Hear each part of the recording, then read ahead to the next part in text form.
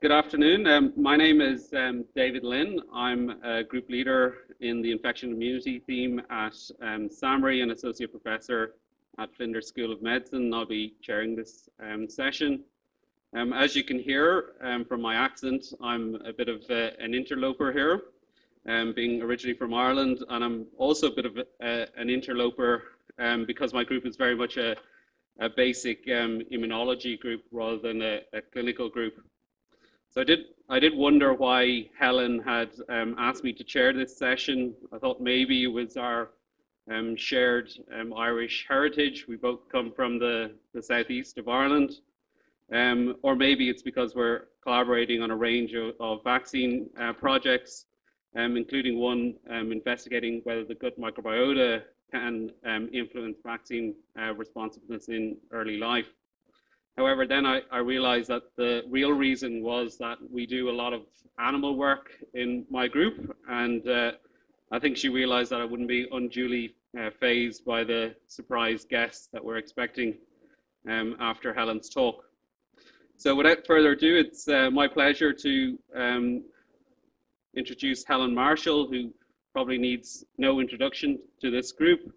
Um, Helen is a um, senior NHMRC research fellow, uh, deputy director of uh, the Robinson, um, professor in vaccinology, Adelaide Medical School, um, medical director of the Vaccinology and Immunology Research Trials Unit at the Women and Children's Hospital, and uh, is a, a, great colleague and, and collaborator of mine um, at SAHMRI. So without further ado, Helen, Please come and tell us about the epidemiology of meningococcal disease and uh, give us an update on the B part of the study. Thanks, Helen. Thanks very much, David, and thanks for being here um, to chair this meeting. I thought you were make some joke about your mouse work in the zoo. But anyway, good. So, um, uh, this is a very exciting opportunity um, for me because you may recall last year that we were really just talking about the possibility of a meningococcal vaccine carriage study in South Australia, and we've made incredible progress um, due to all the hard work of people here. I just wanted to um, have a hands up. Who's heard of the B part of it study in South Australia? Oh, excellent, good response. Who's actually been involved in helping deliver the MenB? Oh, excellent, good, okay. So I'm going to start though by um, talking about the um, epidemiology of the meningococcal disease in Australia because I think it's important to understand the context of um, the study that we're delivering.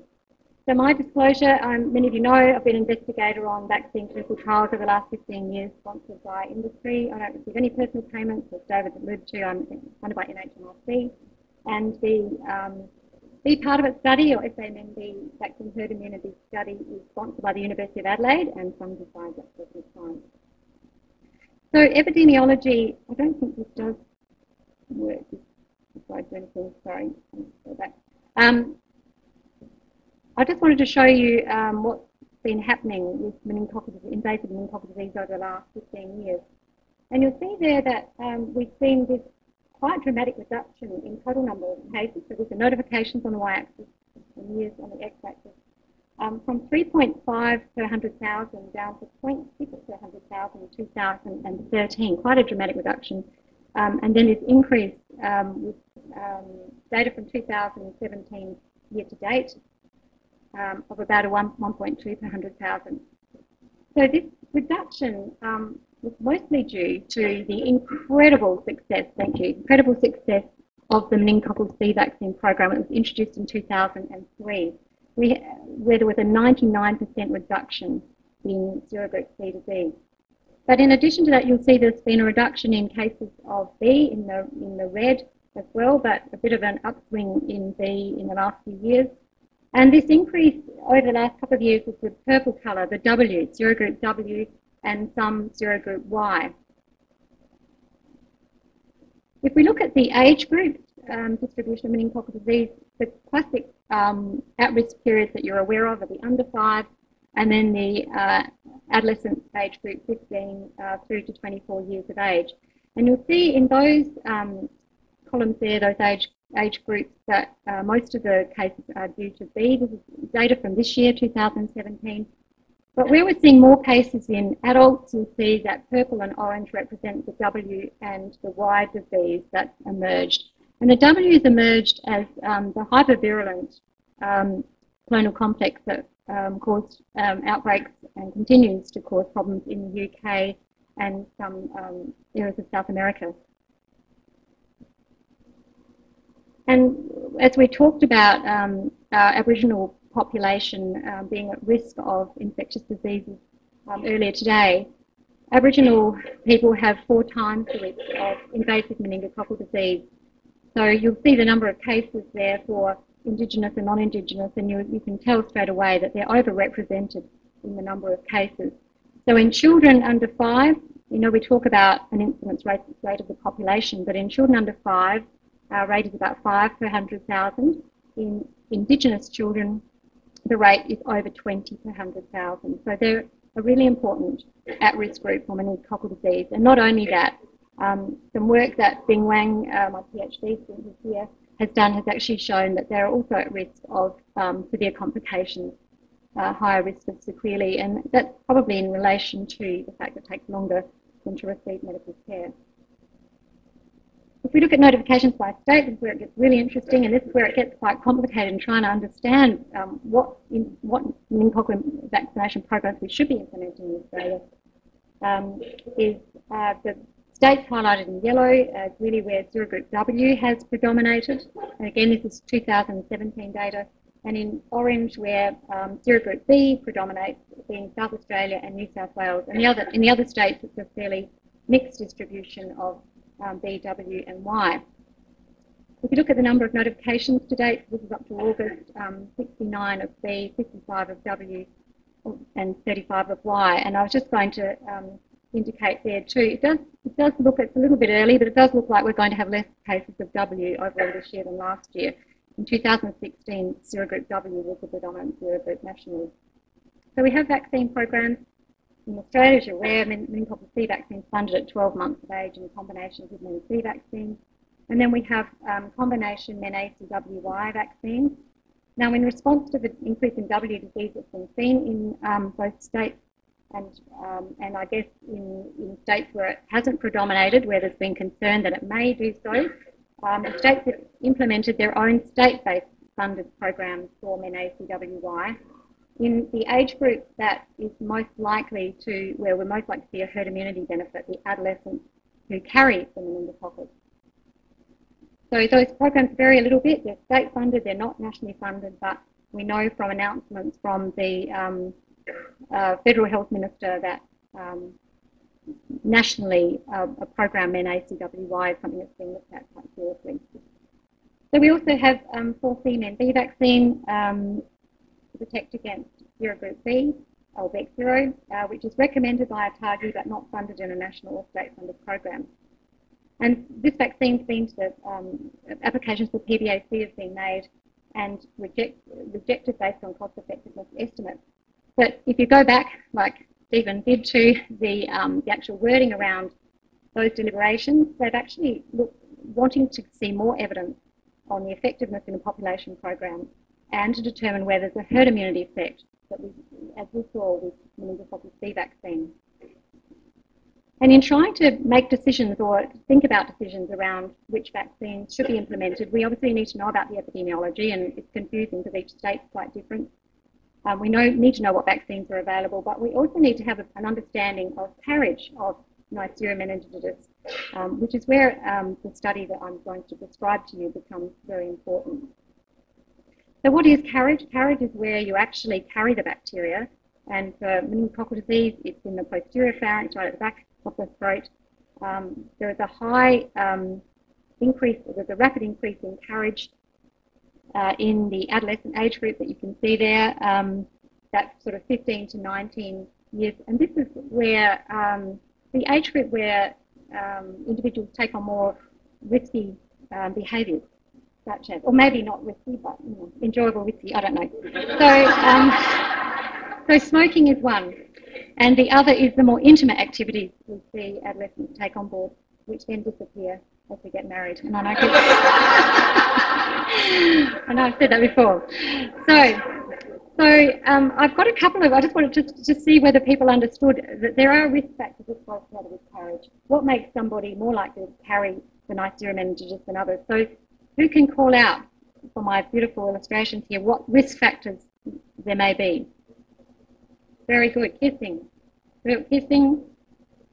Smoking. Excellent. What else have we got? Pubs and clubs. Absolutely. Crowded households. That's I know that's an unusual picture on the bed there for crowded households, but that's all I could find. Um, being male is a risk factor and just being young. So well done. You've all learned something that's great. So that leads me really to talk to you, give you an update about our B part of its study. And this study um, is a really important study and the more I talk about it, and I was just I was asked to give an opening address at a meeting in Prague about this study. There is so much excitement about this study internationally um, it's, it's, it's quite incredible. Um, and what's uh, been a fabulous um, progress to date is that we have had so such um, great engagement from so many people really in the state to make sure that this is a very successful study. What it will do is it will answer the question about carriage prevalence in Australian adolescents. Um, also risk factors, uh, whether our population is similar in the risk factors and uh, it will also address the question about whether there's an impact of uh, 4CMenB vaccine on carriage to understand whether there is, is, this additional herd immunity effect, which is really important for understanding implementing um, which vaccines we should be implementing in Australia. So, um, of course, a study of this size could not be done without the whole state taking this study on board, which has been uh, absolutely fabulous working with many of you here um, but also with government. So we, we wrote to the Premier, we wrote to the Health Minister, Education Minister to make sure that um, everyone understood the significance and importance of this study here for South Australia, but also um, nationally and internationally. Uh, we, um, I think we are unique in South Australia in that we, we do work very closely together. Um, we're able to do that um, between academia, between education and also um, in this situation with SA pathology being a central laboratory service to do all the laboratory work. We've had fabulous engagement from local government. Local government um, immunisation nurses have delivered this whole project out in the community to an incredible standard, um, an absolutely excellent standard. Um, we've been out monitoring and um, it's just staggering how well it's all being done out in the community. We've had at the exec level for independent, public and um, Catholic uh, schools uh, at very high levels. We've had support for this study. And uh, again, Robinson Research Institute really supporting and leading this study and SAHMRI helping with the whole genome sequencing. So why did we just, why did we think we needed to do a carriage study in South Australia? Well, South Australia, as many of you will know, has the highest um, rate of meningococcal disease in Australia. Now, we look this this year looks like NT and um, Tasmania might be tipping us a little bit, but we are um, really up there with about two per hundred thousand over the last couple of years. And up to this year, 80% of our cases, over 80% of our cases have been due to serogroup B, so we're a little bit different to the other states. Um, this year we've had more W cases, so um, it's a bit lower, it's more like 70%, but we're still the, um, the main serogroup causing disease here in South Australia. We've seen this increasing rate of serogroup B disease in adolescents. We don't really understand why that is um, and whether that's um, related to carriage here in South Australia, whether it's to do with the strain that's circulating here in South Australia. And when I when I say the strain that's circulating, it's really the New Zealand strain that caused the epidemic that ended up with an immunisation program back uh, 10, 15 years ago in New Zealand. Um, it's estimated that the vaccine uh, 4CMenB or Bexsero should be 90, should cover 90% of the um, pneumococcal B invasive disease here in South Australia. We have the centralised pathology service. We have um, an adolescent immunisation deli delivery through the immunisation program administered through local government. An amazing way of being able to deli deliver this project in a very short and fast period of time, which needed to happen. And um, we have a very stable population with low mobility. So that's very good when you're doing a study in carriage, trying to look at the impact of the vaccine, following these um, students up over the next couple of years. Really important. And we know that um, in South Australia, we have the highest number of students actually applying for, in, for university in their own state. So as evidence really of low mobility. But I actually think it's more to do with South Australia being the safest state to live in because we're the only state that was not settled by convicts from the UK. And a lot of them were the Irish, I hate to say. So, so I think people actually want to stay here. So that's really good for a carriage study as well. So um, if we look at um, more specifically disease in South Australia, I showed you, you can see that first graph, I'm still having a pointer, but the first graph really shows infant disease has been fairly stable, whereas adolescent cases have gone up in number. We've had four deaths in South Australia from the meningococcal disease, and I never remember that happening in, in my time. Um, three due to group B and one due to W, that you would have heard of just recently. If you look at the 2016 data there, um, the number of cases of that age group, we had 12 in adolescents last year. We've only had four to date this year, so um, hopefully there's been some impact already um, from direct protection of those um, school children have been involved in the study. So the study is in three parts, and the first part was a pilot study we did looking at carriage rates in university students, uh, I should, which I'll speak to second. But the cluster randomized controlled trial is our large trial comparing carriage prevalence in vaccinated versus unvaccinated year 11 and 12 students in South Australia. And we, I say 11 and 12, that might be confusing, but we're actually looking at the impact next year when our 10s and 11s will be 11s and 12s. Um, and then I will, I'll give you some um, data from uh, the um, university study that um, has now been completed. So just uh, as a reminder for those, or for those who don't know, the cluster randomized control trial, really strong design to be able to answer this question adequately so informed consent, um, consent forms went out to all year 10s, 11s and 12s in South Australia. We could have just done this easily to some in metropolitan Adelaide, um, kept it easier for us um, to administer, but we really wanted to give every student in South Australia an equal chance, including our remote Aboriginal um, children, children living in remote um, APY lands. So um, once the consent forms are in, the schools have been randomised to Group A or Group B, and in Group A, um, all the 10th, 11th and 12th who are participating um, undertake a questionnaire looking at the risk factors as we've talked about, have a swab taken, um, they get an iTunes voucher to um, reimburse them for their time and effort on the questionnaire because it's quite long. And then they have two doses, as you'll all agree, have two doses of MenB vaccine.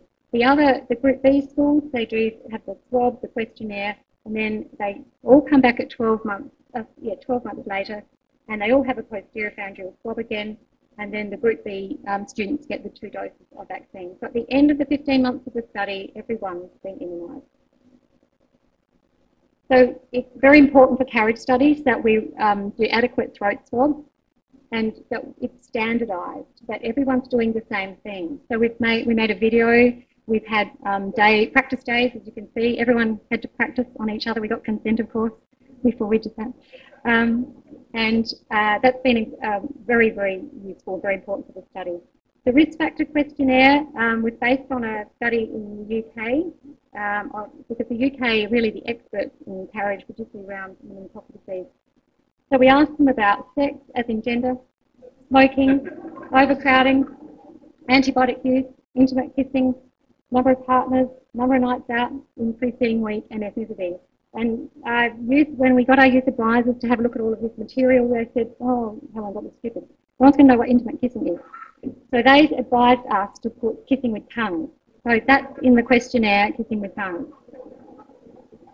But uh, they seem to have managed it. I mean the questionnaire. So, um, so as I mentioned, this could not have been possible at all if it wasn't for the immunisation nurses out in the community administering the school immunisation program. But that's been administered by local government. It's been fantastic working with local government, and you know we'd like to do another trial with local. They might not want to. we love we love working with you.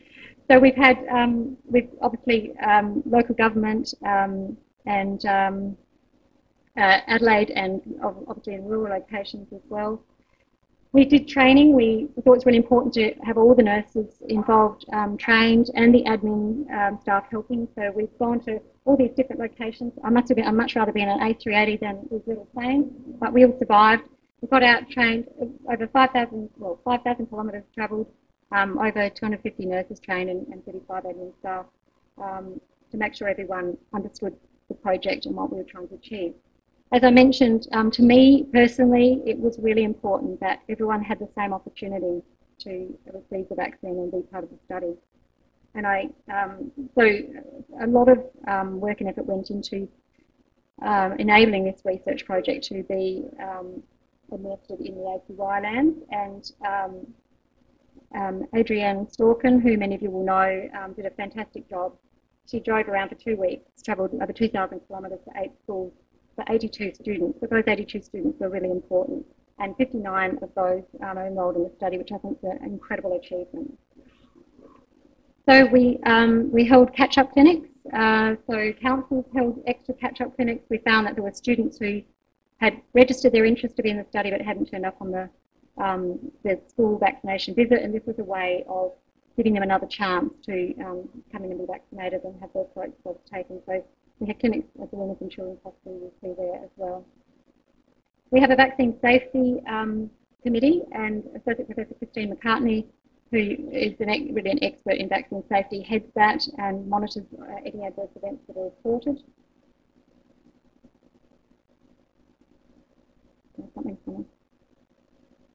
And we had um, we had a, a, a very, um, I guess, robust communication and community engagement campaign because, as I said, it really was something that state had to take on. There's no point in us sitting over in our you know, immunisation clinic or research facility and expecting students to come in and be part of a study. We had to, parents had to understand the study, students had to understand the study, teachers.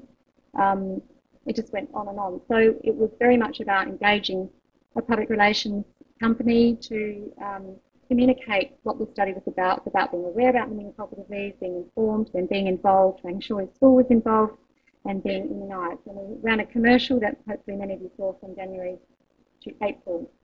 We had ambassadors. We used Facebook, Twitter, Instagram, YouTube, Snapchat, and people see themselves. We had, you know, ambassadors, ambassadors' parents who lost their um, son Jackson, meningococcal disease, other, uh, both um, recovered so, okay, so lab, we take two swabs, as I told you, 12 months apart, and then we do, um, SA Pathology does testing for um, the actual genetic material of the meningococcus, and uh, we culture them, and then they go for whole genome sequencing.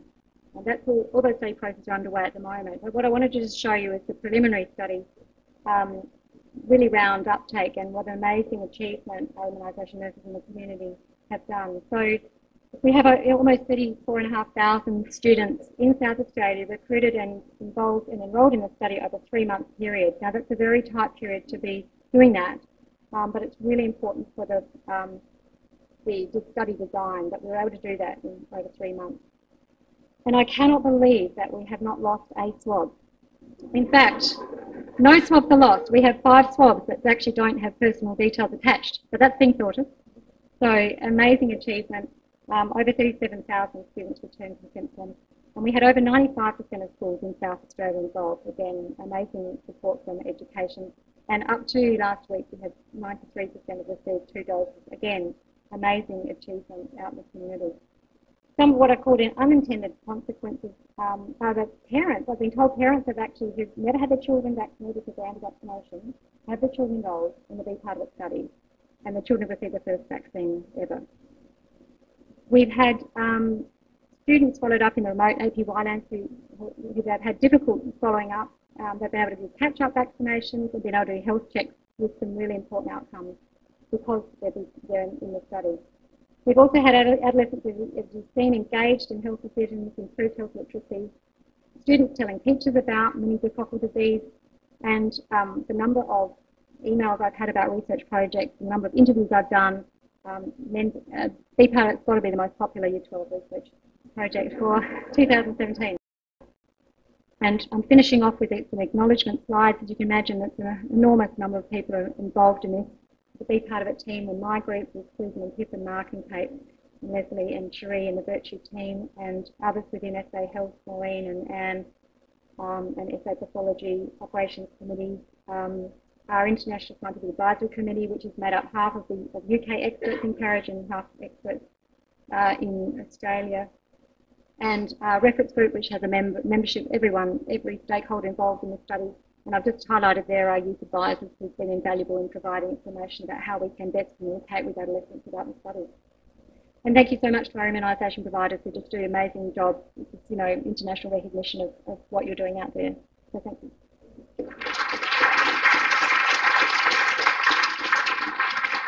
Thanks, Helen. A really awe-inspiring study. Um, we have time for a couple of questions. Any questions? I just mainly want to congratulate you and particularly everyone else in the room. This is an extraordinary study, and the fact that you could do it with the immunisation providers as the workforce, I mean, it is just so powerful, and this put South Australia on the international map. Um, so, uh, my and, and Australia, but we're proud of the convicts from the rest of the country.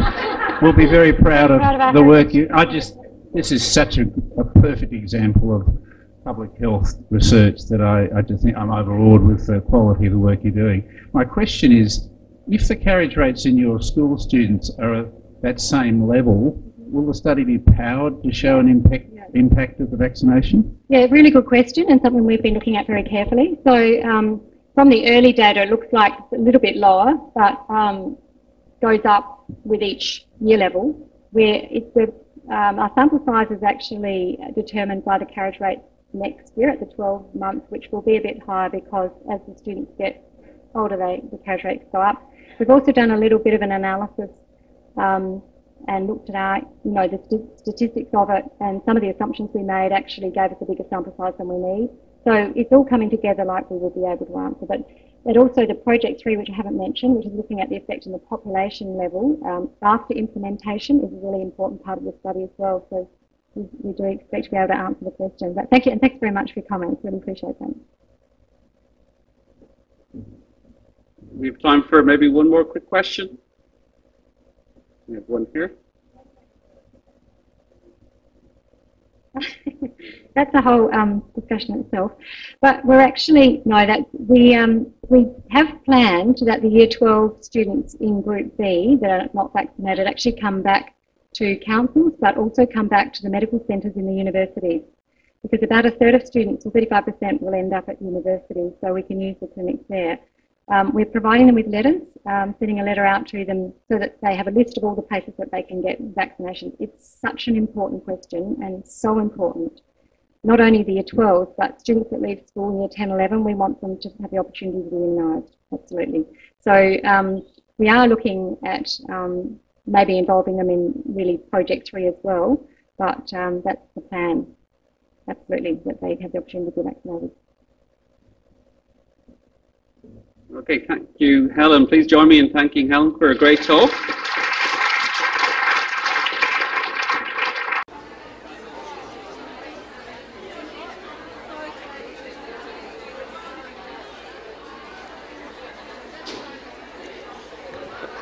Okay, good afternoon. Welcome back.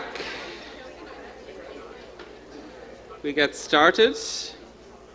Um, next up, um, we have a, a double team of um, Luda Molenchadov and Miss um, Jenny Fife, who are going to tell us about successful implementation of community vaccine programs against vaccine preventable diseases in rural SA.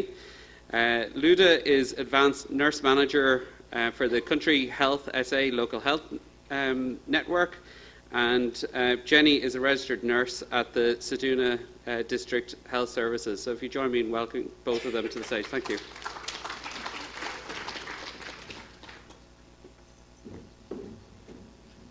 Thank you, David. Everybody can hear me? Now, I don't have any declarations, I'm sorry. I thought about it. I have two daughters in the MENB study, so I can declare that. I've been involved in HPV programs and school programs and so on for a long time, so I guess that's as far as I can go. Uh, my whole household supports uh, South Australian AFL teams. Um, what more can I say? so, thank you for the opportunity to present. Um, and today, what I'd like to do is just present on two vaccination responses that um, Country Health SA local health network sites had an opportunity to be part of in the past 12 months. Um, for those of you, first of all, who's here from Country Health SA local health network? Whoa, Excellent. So, you, um, those of you who aren't, this is a map of our Country Health SA local health network, and the two sites that had a vaccination response are Ceduna on the left, and Jenny will speak about that site, and Gawler, um, which is the measles um, response, which is close to Metro Adelaide. As you can see, um, we, we have six regions, they're the different colours on the map, but, um, and they cover most of South Australia, but only 25% of the population. So we are we have got a huge uh, area, um, 64 hospitals, 220, 220, sites, community health sites and other, uh, um, other sites, and we are the largest aged care service provider in rural South Australia as well. So we do have our finger in a few different pies, and we do have a few different focuses. Up until um, November last year, we weren't uh, we have never, as a health network, been involved in the vaccination response for a community. We've been part of immunisation programs over the years for um, scheduled vaccinations, but we've never actually been asked to be part of a, um, a response to an outbreak um, of diseases. So, in um, the first uh, response we had was in Gawler, and just giving you a picture of where Gawler is, it's not far from Adelaide. It's only about, I don't know, half an hour from uh, Elizabeth, Lyell McEwin. It's about an hour's drive here from CBD Adelaide. So it's really one of the closest um, hospitals that we've got um, that's in our network that's in closest to the metro. These are just some photos of the health service. Now, what happened was, um, those of you who may remember, in the media last year we had quite a few cases of measles confirmed, and there was a, a confirmed cluster in Gawler. So what happened, the first case was at the beginning of September, the sixth case was 6th of November. So, um, and what, so what we were looking at was for those who were not immune to measles, those born, before, um, born after 1966, um, those who have never had measles disease, um, those who didn't have documented doses of two doses of measles. So up to, up to the sixth case, there was a lot of contract, contact tracing happening with the department. It was a collaborative uh, partnership between the department and our health service. And what we were doing was either offering immunoglobulin if it was within the suitable time frame, or uh, the MMR vaccine in accordance with the, um, the series of national guidelines for measles, the SONG. Um, the media was well aware of the outbreaks and it was on Facebook, it was on the SA Health Facebook site, it was in the um, 7 News, the 10 News, it was all through Facebook, it was in local messengers, local papers, um, on the TV and so on. So we had an outbreak confirmed on Tuesday the 8th of November at 11 o'clock. We had an emergency meeting half an hour, and within half an hour, I was leaving the office. My office is in King William Street in Adelaide, and I was heading to Gawler to lead a um, a response, an outbreak response to measles. For the fifth and sixth cases, we had to contact 94 different patients that would have walked through our emergency department because one of the um, cases, one of the final two cases, was a staff member at Gawler Health Service. Um, so we phoned every single person to determine whether they were born before, 19, before 1966, whether they've had measles before, whether they had evidence of two documented doses of measles, um, and whether they were alone because we had lists of people that were patients in the ED, but we, they had family members too. They had people picking them up and so on. So it was huge interviews that we were doing. And they were asked to come back to the ED through a separate entrance to be vaccinated or given immunoglobulin depending on when they were in the emergency department. So the following day, we had another teleconference uh, with the uh, Communicable Disease Control Branch, and it was determined that there will be mass vaccination clinics for the entire community of Gawler. So this is the first time Gawler Health Services had to do this, um, or any other um, of our hospitals have had to do this. We had to find a location that was separate to the hospital because, as we know, measles is an airborne disease. So we had to be separate. We needed to contain, keep the healthy and the sick separate. So within three hours, we had a clinic running. We had a clinic up and running.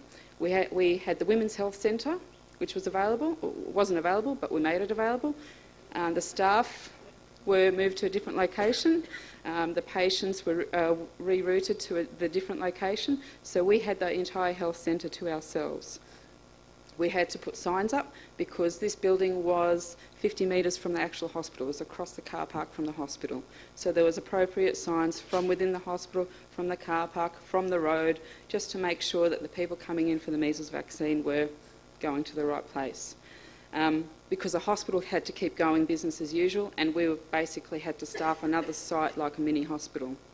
We had to um, organise appropriate standing medication orders, develop them, endorse them, and I had to upskill nurses who have never immunised um, a measles, mumps, rubella vaccine. So they needed to know the risks and benefits of vaccination, ask if the uh, women, are pregnant, do not give if they're not sure, um, and so on. Just little risks and benefits that we had to um, prepare the staff with resources ordered, stationary um, and clinical supplies found, fridges moved from one location to this, to, do, to this location. It was also going to be 35 degrees that week, so we had to set up air conditioners. The waiting area was in a carport. So we had to set up fans and air conditioners, we had to have chilled bottles of water, all of these things we needed to uh, consider for running this mass vaccination clinic. Vaccines ordered, and then we were having electrical storms, so we had to find alternate um, storage facilities where there was a generator attached to it so that we weren't losing vaccines because we could afford not to have vaccines on site. And anyone that was determined to need immunoglobulin was sent to the emergency department through the alternate entrance. I have to say it was a team effort. Everybody came on board from the gardening, gardeners, from the um, uh, contractors, from the directors of nursing, the regional directors, everybody came on board, and within three hours we were ready to go and jab the first patients. So, this is what we expected. I have to say, this is what we expected, but the first couple of hours it wasn't really like that. The following day, this is what we got. So, they were lining up. Um, they were talking to each other like they were long lost friends. When you asked them, Oh, how long have you guys known each other? Oh, we've only just met in the waiting area that type of thing. We had a lot of elderly community members that were walking in on their frames that we did have conversations with. Um, they were doing their bit for the community. They heard it on the news, they heard it from the doctor, they heard it in the shopping centre. They wanted to do their bit for the community because it was all through Gawler. Everybody was talking about it. Everybody was just really happy. We had no need for crowd control. Everybody was just making friends and so on. So this, um, we, I think we, we only vaccinated 698 people over those days. Um, the first, first, as soon as they arrived, we only had three uh, vaccination set, um, desks set up or areas set up. We had to double that because of the people waiting in the waiting area. We ran out of vaccine within the first morning. We had to close the clinic for, the, for uh, two hours while we had another lot, a lot of vaccine delivered. Um, we did we had uh, children vaccinated from nine months of age because it was considered an outbreak, and according to the SONG, that was part of the recommendation. Um, we also checked the immunisation register of families of five kids coming in to make sure they've had two dose, documented doses of measles, mumps, rubella. If not, we would offer them a dose of measles, mumps, rubella, even if, if it, even if it was before the recommended doses, uh, it was recommended, as long as at least a month interval any children that we vaccinated, we um, entered onto the immunisation register up until the age of 18 years of age. So we did have opportunity, I did have access to the register. We had to set that up within a couple of hours too, and we were able to enter them onto the register. Um, and we had a, ro a, rotating roster of staff. Um, when I showed you the map of country health, we have regions, the coloured sections.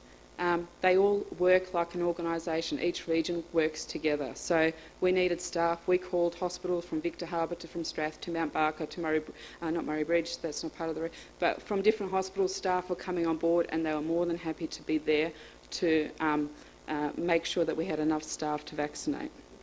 We spoke to many, many people. Like I said. Um, gentlemen on their walking frames came in for their vaccinations, and we explained it to them. They were more than happy and they left. Uh, so when we ran out of vaccines, they were more than happy to return two hours later. Um, there was no issues at all. Everybody wanted to be part of the, the vaccination response. What we did learn from this, and we were able to um, uh, assist this, um, provide information to the Ceduna response, was that we needed a clinical lead. What we couldn't, what we didn't have access to was healthcare worker immunisations. So they weren't readily accessible information. um, the vaccination histories or the serology. We had to uh, continue to get that sorted. I know we are slowly going through that process, but that's something that would have been, um, we would have had a much more rapid response. Um, what we needed to also remember was that when we did the contact tracing from the emergency department, we only looked at the staff that were rostered on, but there were physios walking through, providing physio support. Um, uh, there were OTs coming through. There were other disciplines coming through at the time that we weren't aware of until they came through our mass vaccination clinics. And then we had to reassess the need for immunoglobulin or vaccination. So, and there were contractors that were uh, fixing the doors and so on. Because measles is an airborne disease, it's something that we needed to consider. It's not the same for all, all diseases, but measles, we did need to consider that. And it was vital for a rapid response for all staff to be on board, um, from carrying furniture from one building to another, from setting up resources, from ordering resources, and so on. But it was also important for us to have access to some experienced staff, preferably all experienced staff, but at least some, so that we can have uh, people answering questions um, from community members and from other staff members. So these were our learnings that we, we were able to apply to further responses and I will hand over to Jenny to do the Ceduna one. Thank you.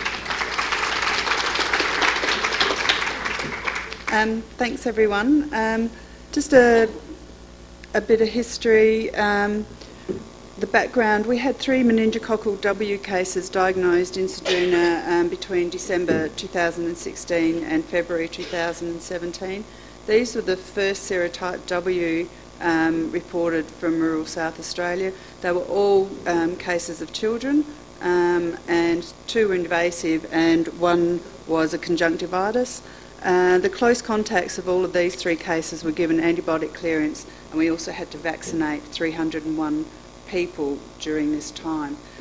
After the third case, and in light of the outbreak um, that occurred in Kalgoorlie late 2016, the decision was made that we would commence a community-wide um, vaccination program. That was met with some trepidation by the team at Ceduna because we did wonder how in the hell we were going to accomplish that. so it was decided that residents from um, towns such as Ceduna, Thevenard, Denial Bay, Koonibba, um, communities such as Yalata, Scotdesco um, and Oak Valley, um, towns as Penong and Smoky Bay would all be entitled to a free vaccination. So that involved um, anyone from two months of age upwards. So Ceduna is about 800 kilometres um, from Adelaide. We're about 470 kilometres from Port Augusta and 400 odd kilometres from um, Port Lincoln. So we are fairly isolated. We're not a big hospital. We've got 15 acute beds. Um, we do have an obstetric service. Um, we do have a couple of dialysis um, chairs um, and aged care, of course. So um, the map's not very good, but they're some of the areas that we went to to do the actual clinics. So the questions were, how are we going to do this? So we needed a coordinated approach. It couldn't just be us. So we had to um, work closely with um, the rest of country health, with SA Health and CDCB um, and other um, NGOs. So um, we needed the clinics to be both centrally and, and outreach. Um, we needed venues it wasn't possible to use the hospital. Hospital had to continue on as a day-to-day running. We needed to organise um, resources. It's not as easy in the city as just being able to order something and get it the next day. Um, it might take a week to get resources. Um, and we had to get things such as rubbish bins. Um, when you go down the shop in Ceduna, and there's not many shops there, let me tell you, um, and rubbish bins were $15 each, and we thought, oh no, we're not paying for, you know, 10 of those, so we just got buckets, and we put bin liners in the buckets. So um, we had to do a bit of thinking of outside the square. We needed to also know what the clinics would look like, um, how were they going to run. Um, we had to work out how we were going to staff the clinics. Um, and to do that, um, every organisation came on board. We had local organisations offering um, staff as ushers. We worked with the um, Aboriginal um, agencies up there because we've got such a high Aboriginal um, population. Um, it was important that they were there to, to aid um, the Indigenous people to feel comfortable to come and, and get vaccinated. We decided the clinics would actually um, flow like a polling booth, so we'd have ushers out the front, we would have um, admin section out the front, which would be divided in two. So one section you would get your um, paperwork and consent forms and information. You'd then bring that back to a, a separate admin section who would check that it was okay. You'd then be given a number like you were lining up at the Coles Deli or whatever and be shown through to the waiting area and from there you'd go straight through um, to the vaccination um, clinics and from there you'd go into a um, post-vaccination um, area for 15 minutes to be looked at. Um, so this is what some of the clinics look like. The first one was the Ceduna one, which we held in the town hall, and the Ceduna Council very kindly let us have that for the full two weeks of the clinics, um, and we were allowed to leave that set up um, for that two weeks. They cancelled anything that they needed um, or, or, that they had planned in there. The next, the one below was at Koonibba, which is an Aboriginal um, area, uh, and that was in their little community town. Then the one at Penong was just in their town hall, and that was even smaller. And then the Smoky Bay one was at the community club. Um, Oak Valley, where we had to go, was an actual plane trip, so we were limited as to how many people we could fly up there. It was just a single engine aircraft, and I opted out of that one because I don't like flying. Um, so, because uh, otherwise it's a, at least a five hour drive up there, and that just wasn't um, going to happen. So, some of the agencies involved there you can see, and, and they were wide and varied. Um, and encompassed all sorts of, of um, agencies. So the next thing we needed to know was, um, sorry, um, when were we going to do it? So we needed to do it as soon as possible. Um, it was no use planning it for, you know, a month, two months down the track. So a decision was made um, that we would have um, three weeks of clinics two weeks would be in Ceduna and we'd have one week travelling to those outreach clinics um, and we would then come back um, and reassess how we were going and what we needed to do from, from then on. So as you saw we had um, the various clinics um, in the outreach centres. The clinic times we had um, in Ceduna we started the clinics at um, 2 o'clock until 6 o'clock in the evening, Monday to Friday, but staff would be rostered on from um, 1 o'clock till 9 o'clock. We'd have a, a briefing before each clinic. Everyone knew what their roles were. We had a clinic lead, um, and that was the go-to person um, if there were any problems. The outreach clinics, um, they varied from 11 o'clock to 4 o'clock, depending on how far we actually had to drive to get there. Um, when we went to Yalata, that's 215 kilometres away, so that was a sort of a 7.30 start time to get there. Um, and they actually did an amazing job out there to get all their community to come in, and they did that by actually offering them lunch. So they were quite happy to all turn up, and we actually didn't even take enough vaccines out there, so we actually um, we had to send some more the next day. Um, how do we get the message out there? So we had we're a bit different out in Ceduna in that we don't get um, South Australian TV. We have um, Northern Territory um, news. We have Queensland news or we have Melbourne news or Sydney news, but we don't get Adelaide news. Don't ask me why, but that's how it works. So we had our local radio stations um, and we had our um, EO Don um, doing some interviews there. Um, media and comms from SA Health um, provided um, Facebook feed. We had posters everywhere. It was on the SA Health internet, and the good old grapevine worked wonders. We certainly had people ringing up asking, even before it got out, um, when they were when the clinics were happening and what was going on.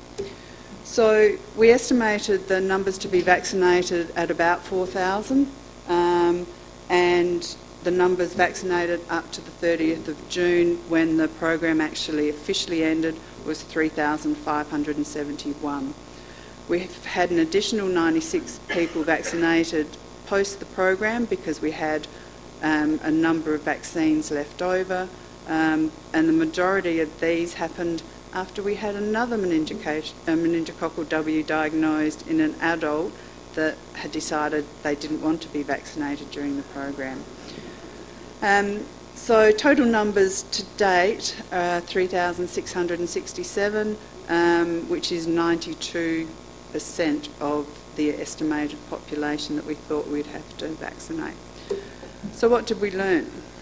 We learnt to deal with any issues that arose quickly. We had changes to information at the last minute. We had, and so we had to reprint thousands of documents.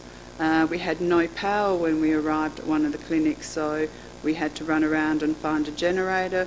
We had to, um, we used the community paramedics as our post-vaccination observers.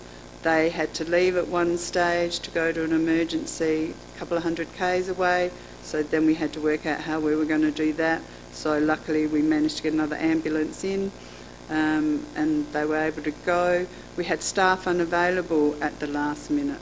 Um, but yeah, we just rolled with the punches really. We also found it would have been easier to have an area map rather than a list of towns included, simply because we did find some people a little aggro because they didn't live in those towns and they were precluded from getting the vaccination, whereas if we could have just shown them a map and if they lived outside of that area, it might have been easier for them to take in. As um, Luda said, we found having a clinic lead was beneficial. It allowed for smooth running of the clinics. Um, anyone that had any questions um, were able to go to that clinic lead and it, it just kept the clinic running.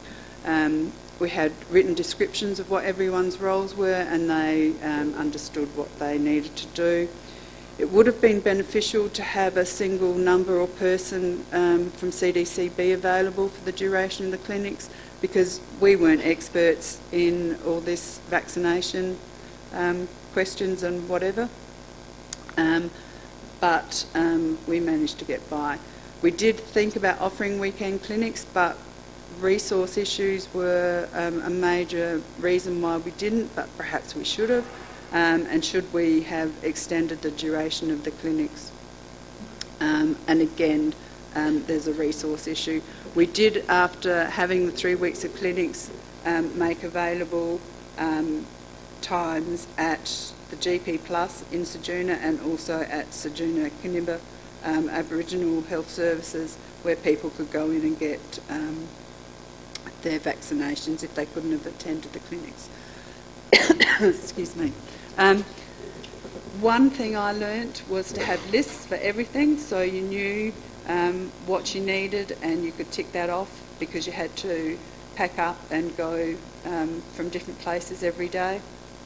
And that was a vital thing, and that was one thing um, we learnt from Luda. Um, we had Luda come up for the first week, which was most um, useful for us, and um, we just found that it was an amazing collaborative approach, and um, it wouldn't have worked um, if we hadn't had um, such a, an amazing group of clinicians, excuse me, and departments that all work together to to make this such a successful program.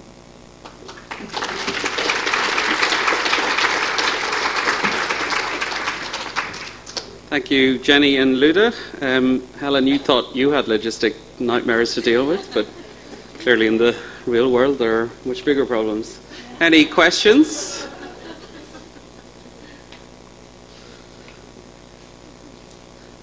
I'll ask a quick question. Or we have one here. I, I was just wondering, is it just going to be the one vaccine that all these participants get? Um, it was um, the children, the, anyone up to 12 months, um, had to have either two or three, depending on their age. Um, anyone over 12 months, um, once we got them the Menrix, because we had to swap vaccines sort of halfway through, um, they only received one, unless they were immunocompromised, and then they may need it too. But we've had a follow-up program that we've had to go through as well with all of those. Any other questions? Did, did you mention that you had some people that wanted to be vaccinated but didn't meet the criteria, or was No, that we- an issue? I did the meetings. Yeah.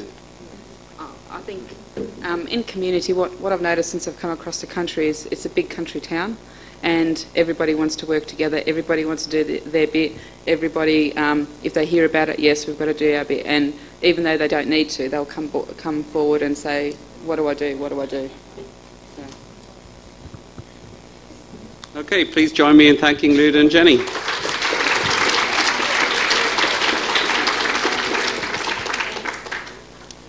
Now, uh, our last talk today, um, unfortunately, um, Professor Ann Koehler couldn't um, make it today, so we have um, Dr. Doug Shaw, a public health physician from SA Health, who's going to give us a talk on healthcare worker immunisation. as a health professional, ever been involved in responding to a case of a vaccine preventable disease or an outbreak in a healthcare setting, stand up. Okay. And just very quickly, if you shout out what your vaccine preventable disease was, or measles, pertussis, measles, meningococcal, rotavirus, everything, right. Okay, good. Next question. This is the exercise before we get going, you see, because you've been sitting down for too long. If, as a health professional, I want you to stand up, if you've ever had to talk to another health professional who's either refused or been very hesitant about vaccines that they really should have as a health professional. Oh dear. I, I won't ask you what vaccine that was. Okay. Well, well, this talk might actually be interesting then. So it's up there. We should go. So I'm just going to go through a little bit of the background and context, point out the main features of this policy directive that SA Health has developed, show you some of the model and supporting documents that you can access and use in, in implementing the policy directive, and also we'll mention some of the implementation issues, and there should be enough time for some discussion because those is probably where you have most of your questions. So I think the little exercise we've just done has answered this question, why is it important? So it's pretty obvious, isn't it? Vaccine preventable diseases can be transmitted and they can be acquired in a healthcare setting. Um, and part of the drive for the policy directive, apart from being really good public health, is there is a duty of care for SA Health and all employers to provide a safe working environment. And we also need to meet uh, accreditation standards, and they've been some of the drivers behind this policy directive, a workplace immunisation program. So those of you who've been around a little while may remember from 2010 we had some immunisation guidelines. And we started developing a policy directive, but we didn't really get a lot of high level management support until somewhat fortuitously we had some outbreaks in healthcare facilities, particularly pertussis at the Women's and Children's Hospital. Anyone remember that? Alan does. Uh, and there have been measles outbreaks and so on. At the same time, uh, accreditation standards were coming in, and the time was right to develop a policy directive. Also, the new edition of the immunisation handbook came out, and suddenly our 2010 guideline was out of date.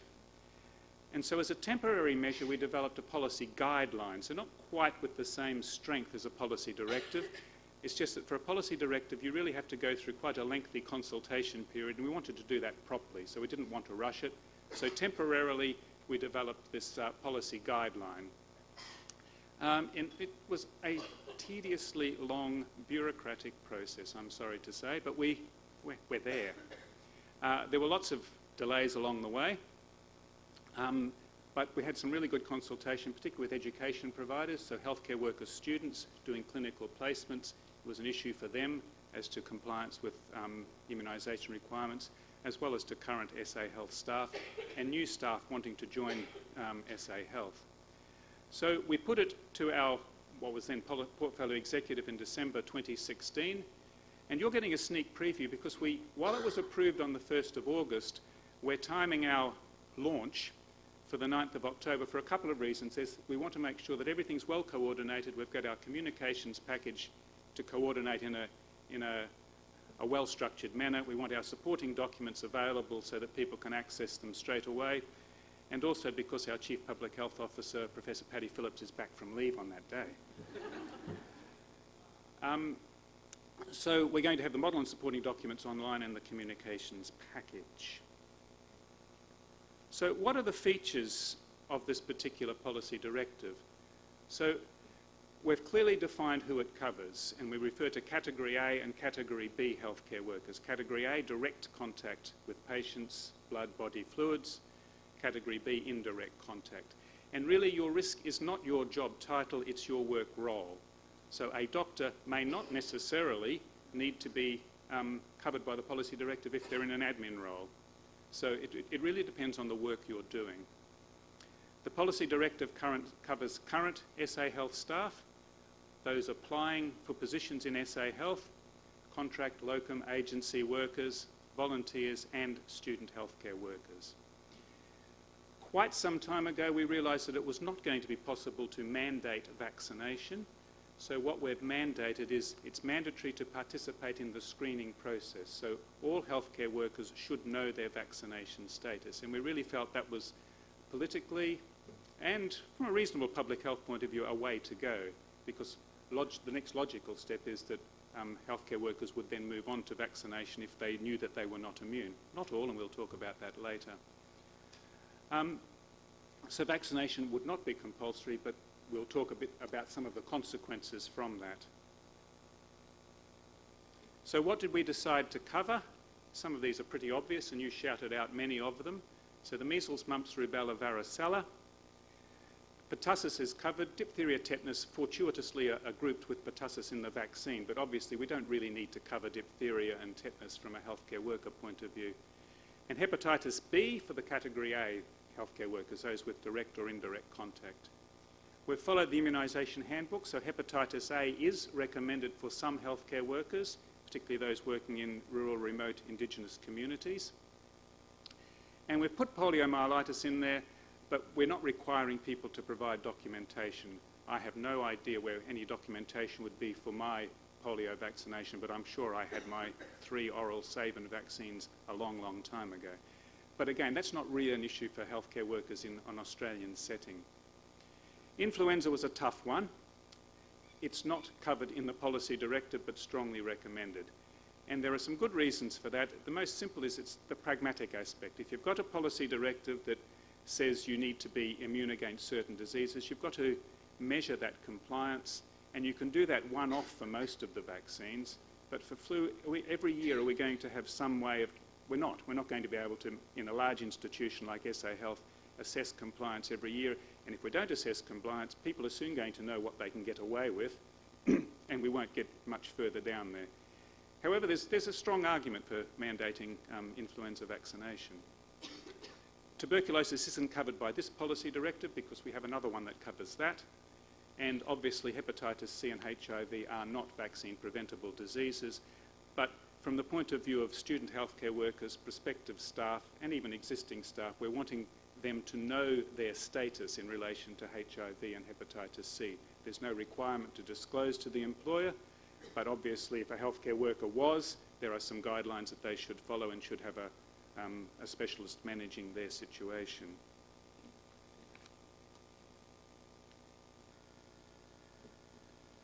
So one of the early versions, well, as you might imagine, the, the policy directive developed along the way. And after particularly, um, this is where the value of consultation comes in, we decided to separate out refusal. And notice we're using the word refusal, not the very polite declined. We made that decision to, to move to a slightly stronger term. But we've separated that out from those people who are non-responders, and particularly hepatitis B. So these are people who are committed to vaccination. They've gone through the appropriate um, hepatitis B vaccination schedule, the boosters and so on, but they're still non-responders. We didn't want them to be disadvantaged, and we can put protection around them and their patients. And in fact, the issue for, is mainly for, for the healthcare worker there rather than the patients because they're not protected against exposure to hepatitis B. And also, so that would be a, a fairly small group. And also another, what we think will be a very small group, is people with a genuine medical contraindication to vaccination. We didn't want them to be discriminated against either, even if they were perhaps considering a, a healthcare career. But again, you would need to assess their risk and the sorts of um, work that they might be doing, the patients they might be uh, caring for. So some of the strong features in the policy directive, and we did get very high level um, SA health management support for this. If you're a student healthcare worker and you are not compliant with the policy directive, you will not be offered a clinical placement in an SA health service facility. Pretty strong. And I think, think you're going to have much chance of getting a, a clinical placement in the private hospitals either. They're pretty much lined up with um, very similar recommendations. The same applies to prospective employees. If, if someone is applying for a job and they become the preferred candidate, they need to go through the, the usual rigmarole, police clearance, this TB clearance and so on.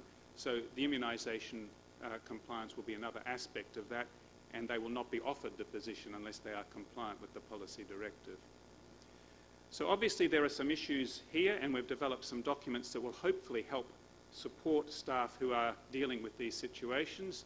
So a refusal form and we do have a, a document that we're prepared for an immunisation expert advisory panel. So we'd bring together a small group of people who could assess on a case-by-case situation people who were refusing vaccination um, and look at their particular circumstances and make recommendations. We hope that that panel would be used very rarely.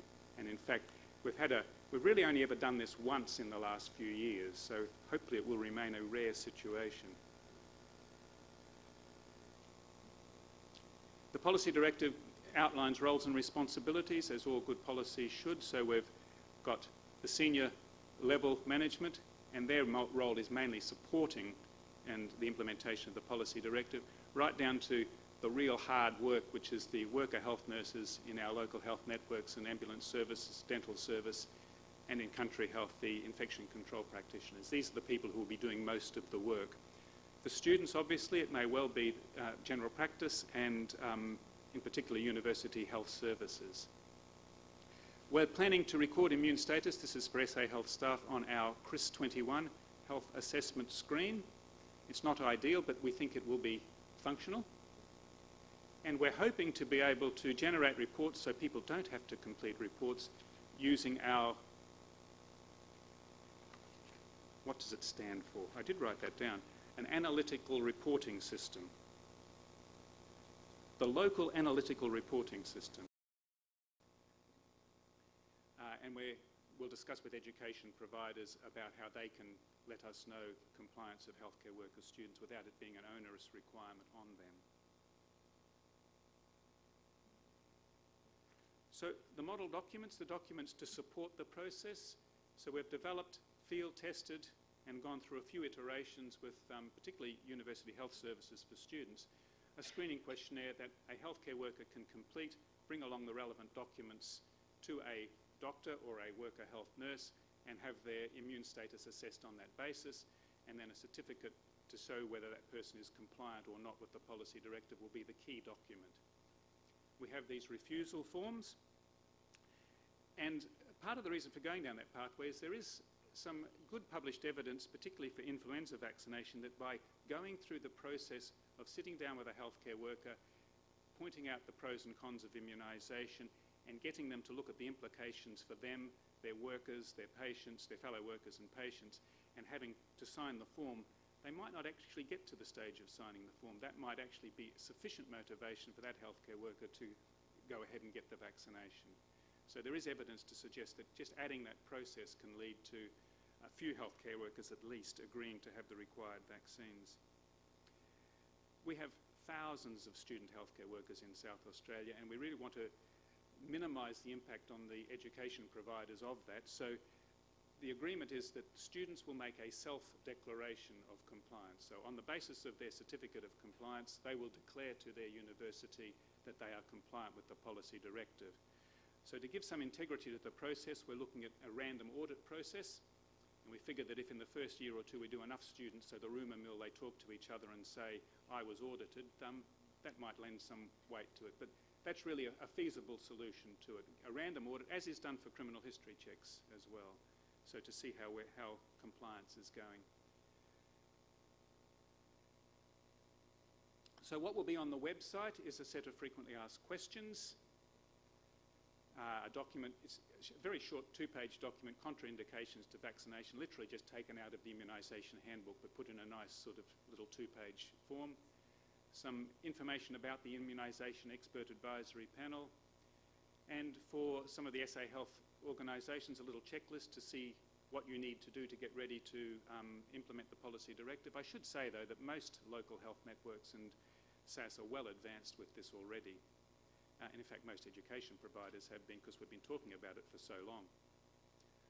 Um, and there'll be a version of this PowerPoint presentation available as well, particularly for SA Health facilities if, if um, people want to use the PowerPoint to provide education sessions to staff. And then we've got a series of um, documents that help us behind the scenes. So how we're going to communicate to immunisation providers, to education providers, to laboratories and so on. We're going to form a, a, a, working group for implementing the program, particularly involving senior worker health nurses from our local health networks and SAS. Um, we've got various consultation reports from the consultation we've been through, a, a workshop with education providers and so on.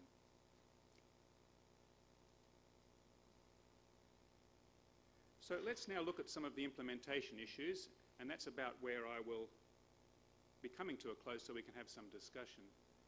So we're proposing, and each local health network can develop their own plan, a four-year phased implementation, and in that initial year, the recommendation is to focus on staff working in higher risk areas, so emergency departments, operating theatres, oncology.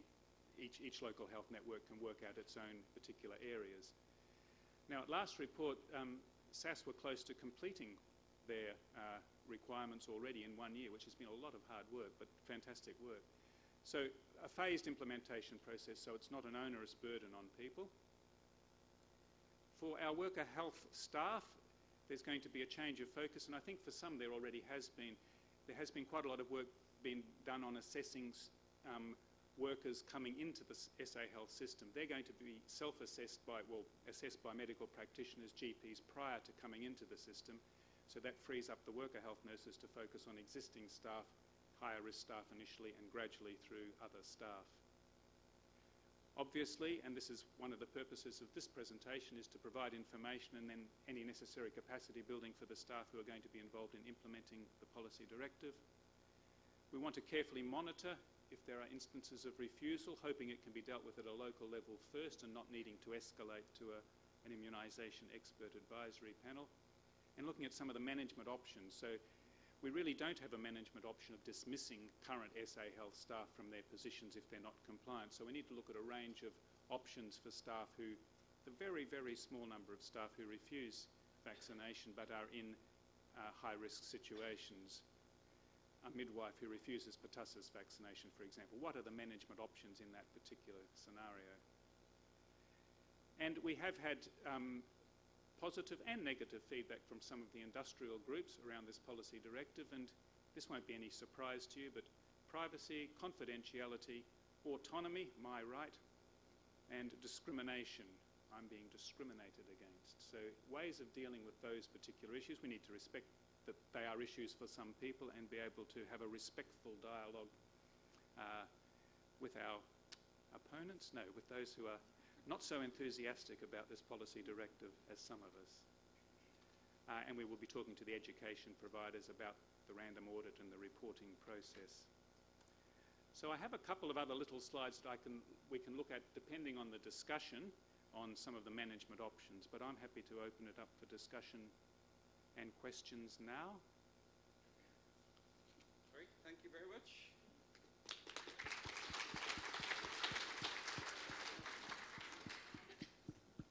Do we have any questions?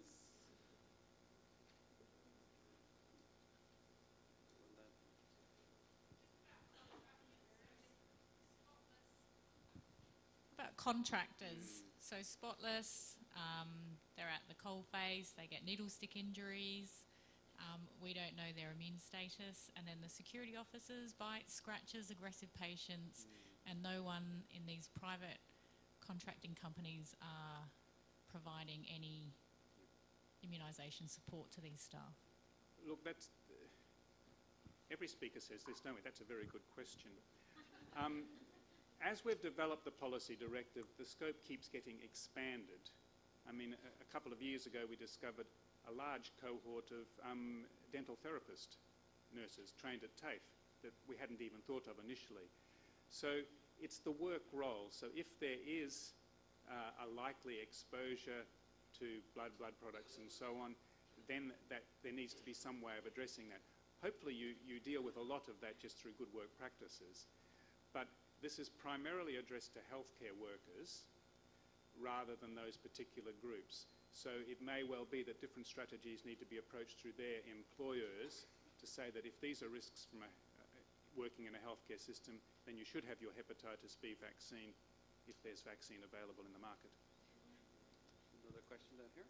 Uh, yeah, I just got a um, quick question. Uh, GPs that might be contracted to, say, country health hospitals, will they be expected to um, do all this? Because I work in a um, GP practice and we already do refusal forms and consent forms and everything and offer immunisations. But they're usually the most problem I have is with the GPs. Thank you. So um, I have been, we've had, had, discussions with our Country Health SA colleagues. Hi, Luda. Um, and, and recognising that that is an issue. So some of these GPs will actually need to be compliant with the policy directive because they have a contract with a particular health service anyway. Um, otherwise, we're hoping that the GPs will actually be our main allies in doing the screening and process and providing support through them. So um, in our communication package, we've got a whole set of letters ready to go out to rural doctors, uh, College of Rural and Remote Medicine, and so on. Um, do you have any suggestions as to how we can make that work?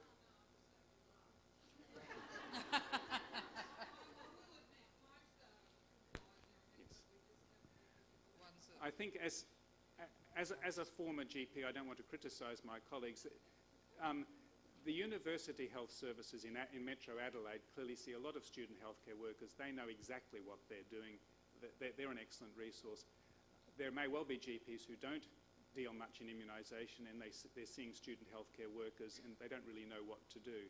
And we've had ongoing discussions which I hope are resolved on, on you know, who should have serology and who shouldn't before vaccination and who should have serology and who shouldn't after vaccination. So, you know, post-vaccination serology for chickenpox is just not recommended full stop. So those sorts of issues. We have a question just here. Hello. Um, I work in an occupational health clinic, and just in regard to the query about Spotless, uh, all their employees, since the new RA, all their employees are required to be screened for uh, hepatitis A and B, um, tetanus, diphtheria, whooping cough. Uh, they're required to have their influenza. They're required to have proof of polio. If they don't have proof of immunity, they have to have the complete schedules to, to work for the NRAL. Thank you. That, that's interesting. The required to have proof of polio could be somewhat problematic because we don't really want people going having a, a repeat primary course of polio. But it, it, depends what the fine print is, doesn't it, in that? Hmm. Yes. Right. we're not going down that pathway. We're saying if you are prepared to say, I, if I'm pre- prepared to say I've had my primary course of polio, that's acceptable as proof. Polio is not an issue in SA health facilities. So I think that's a little bit over the top, some of those requirements. Some of the others are great. One over here. Hi. Um, just a quick question. Will the um, policy directive affect also the, will it relate directly rather to the work health and safety policies of uh, uh, SA Health? Um, so in, if someone is, I don't know, affected by uh, communicable disease and they don't, they're a refuser, then will their claim necessarily be, um, sorry?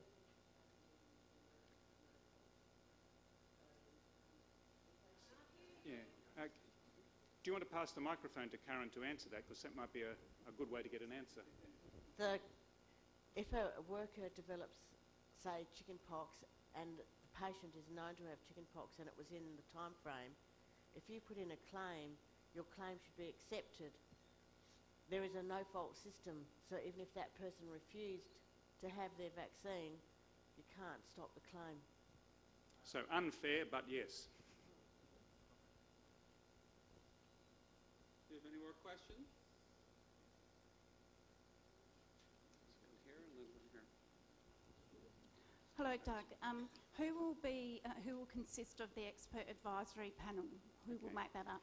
So after the 9th of October, you can go on the website and download the document and have a look at it. So let's see if what I can remember. So there will be uh, an infectious diseases physician, uh, a doctor from the communicable disease control branch, a representative from that particular local health network, probably someone from workforce relations, uh, the healthcare worker and a support person are also entitled to come along to the panel. I think I've missed someone out in that, but it, as I say, we, we have run this once before with a, a student healthcare worker, and we've got a feel as to how it would go. But we're trying to have a, an open, transparent, consistent process so that across all of SA Health, that, you know, there's no, the same process would be followed, and we're hoping it will be very rare. We have a question in the front. Um, just a general question. Um, we have a national immunisation database, and some states also have some. Is there is that going to be one eventually, and are we going to be able to tap into that, or what? Uh, So who's best placed to answer the Australian Immunisation Register question? Ultimately, yes. Thank you. Yes, we're headed in that direction. At the moment, we've got the, the, the child immunisation register, we've got the HPV register, but ultimately we're planning to add adult vaccinations and a whole of life. Zosters on, thank you. And that'll be wonderful. Um, I'm just wondering about the immunisation courses too. The immunisation courses as well, because they're different. Like I've, I'm an immunisation provider in Western Australia, but I have to do the SA uh, health immunisation course to be able to do it here. Is there any chance of it being a national training? Can someone answer that question? Um, the only comment I can make about that is there's a, um, it's in the plans with the National Immunisation Education Framework, but that's not happening, won't, ha- won't be ticked off for a few years. Um, that was the last comment that I had from a meeting, and I think Angela went to the meeting and I read the minutes from it. Um, my comment, Doug, is to support what you said. It's a consistent approach, and what there is going to be an implementation working group with representation from all the LHNs. So those of you guys from the different LHNs, we are working together to have a consistent approach about implementing this policy directive, working collaboratively in a in partnership. Sorry, these are the words that um, are really important um, with SA Health to make sure that we have less hiccups and respond um, consistently across all SA Health. Okay, any last questions? We have one more question here, and I think we'll wrap it up after that. It's four o'clock on the phone. As a healthcare worker in the maternity unit, and we're all, we're covered by pertussis, how long do we know? Like, when do we have to have another vaccination? Because there's thoughts out there that it's five years, some say ten years, and so it's unsure. Look, we're sticking to 10 years between booster doses, but we know after three or four years immunity is going to fade. I mean, it's, it's not our best vaccine. It's a good vaccine. It does provide protection. but you know, we can't be, be, and also because the pertussis vaccine is bundled with diphtheria tetanus, we don't want to be giving the diphtheria tetanus too frequently either for the risk of some hypersensitivity reactions and things like that. Any additions, Helen, from your perspective? 10 years.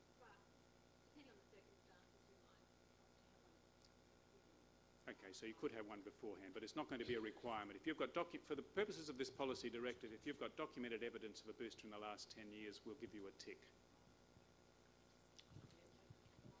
Uh, last.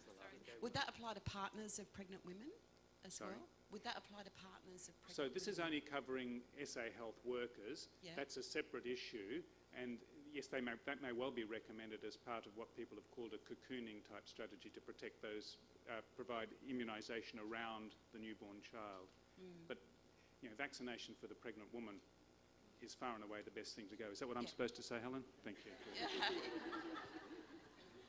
Please join me in uh, thanking Doug for a great talk.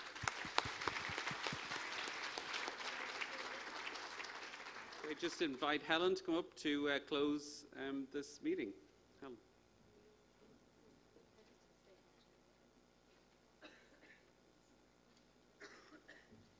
Thanks very much, David. And thanks for that um, last session. That was um, great. You know, not saying thanks for my presentation, but the others.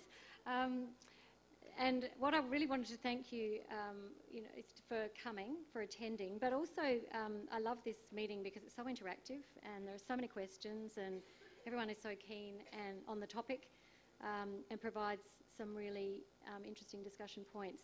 So we hope it's valuable for you as well. It's very valuable for us to understand um, what's happening out in the community as well. So those forms that you have um, around um, suggestions for um, topics even for next year. So this year we very much responded healthcare workers, one of the topics that was put, has been put down two years in a row.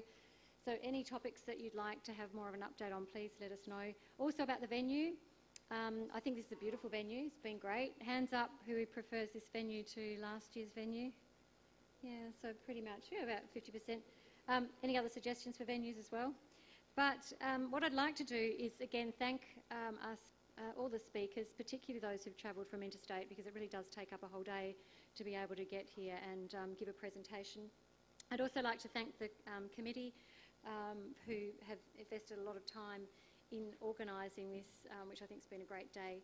So for, uh, to, thanks to Breeda McDonald, Sarah Ely and Kate Riley. Also our sponsors that I mentioned at the beginning, so um, SA Health, SAHMRI, Women's and Children's Health Network and Robinson Research Institute, University of Adelaide.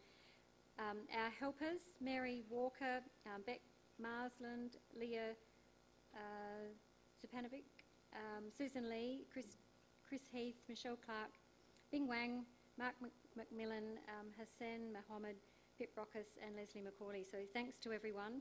Um, thanks to our chairs as well. And um, I think to the audiovisual team too. I think we've had great support for the audio- audiovisuals. Thank you. You can all go home now.